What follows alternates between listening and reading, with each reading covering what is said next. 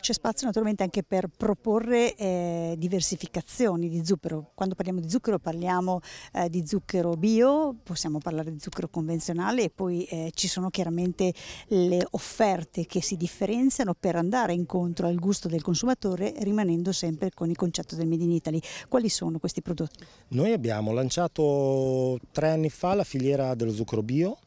e oggi sta crescendo in maniera importante perché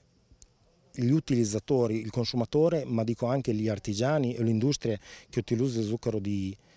zucchero che fino a ieri utilizzava lo zucchero di canna grezzo ha capito che lo zucchero di canna non ha niente in più, niente eh, di meglio rispetto al nostro zucchero, se non che viene dall'altra parte del mondo con giorni e giorni di navigazione con, impatti, con degli impatti eh, di emissioni notevoli. Quindi lo zucchero bio, abbiamo il nostrano, il nostrano grezzo di bietola, che quello è un prodotto che sta crescendo in maniera importante, quello si sta proprio posizionando al posto dello zucchero di canna, grezzo, e mentre lo zucchero di canna sta calando, noi stiamo crescendo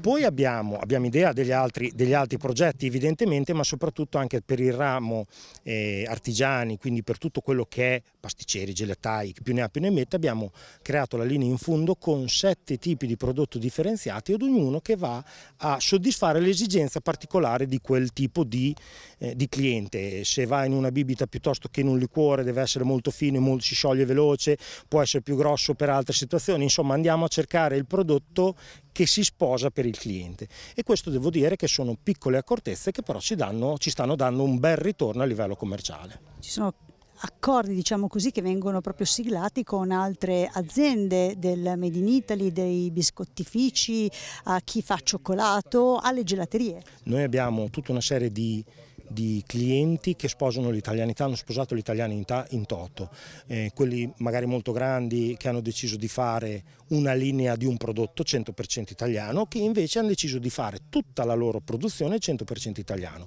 Diciamo che questi casi sono sempre in crescita, è difficile entrarci perché il primo impatto è il prezzo e noi siamo più cari,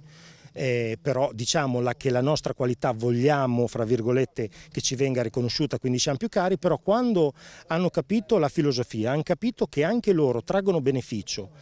dalle, ehm, dai valori virtuosi della nostra filiera, la sposano e la rivendono. Alcune linee alcune linee di supermercati hanno sposato il nostro prodotto in co-marketing, quindi c'è il loro marchio privato, però ci hanno tenuto a lasciare il nostro marchio sul fianco Italia Zuccheri e questo è un valore veramente importante.